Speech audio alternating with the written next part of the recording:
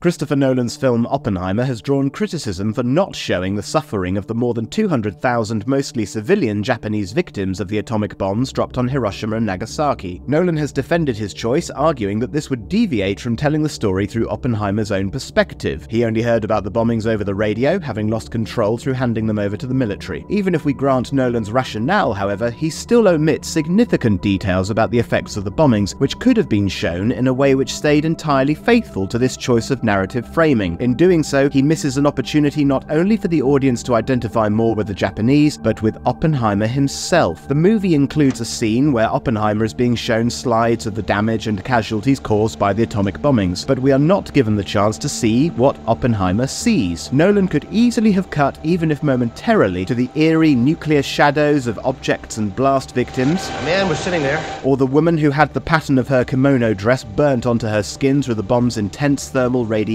This has already been done to powerful effect in the BBC series Oppenheimer, the father of the bomb. That's when the shock waves hit the observer plane. Hiroshima. Look at that. One bomb.